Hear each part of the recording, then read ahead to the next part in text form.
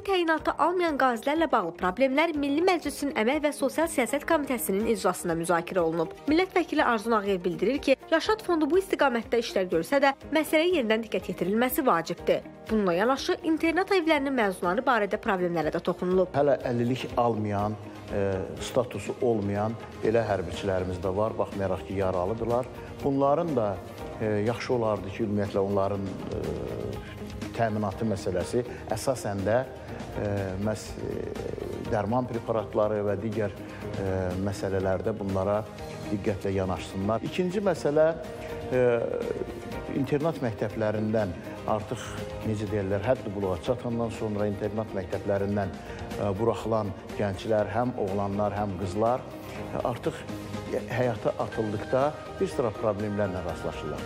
Onların məlumdur ki, Azərbaycanın bir sıra yerlərində məhz birinci vitse-prezident Mehriban xanımın tapşırığına əsasən evlər tikilir, mənzillər verilir. Burada da bir neçə məqamlar var.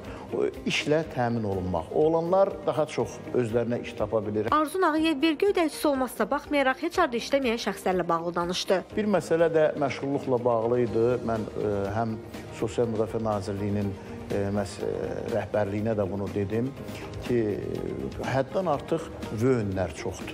Yəni əgər bu doğrudan da bizneslə məşğul olanlar varsa, bu başqa məsələ.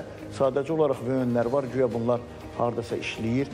Təbii ki, sabah artıq sosial yardım problemi ortaya çıxanda o vöynlər ortaya çıxır, ondan sonra onların adına olan torpaq sahələri adına çıxır və bu istiqamətdə də müəyyən sistemləşməyə ehtiyac var. Müzakirəyə çıxarılan məsələlərin müsbət istiqamətdə həll olunacağı gözlənilir. Günel Məmmədyanlı, Əziz Əzizov.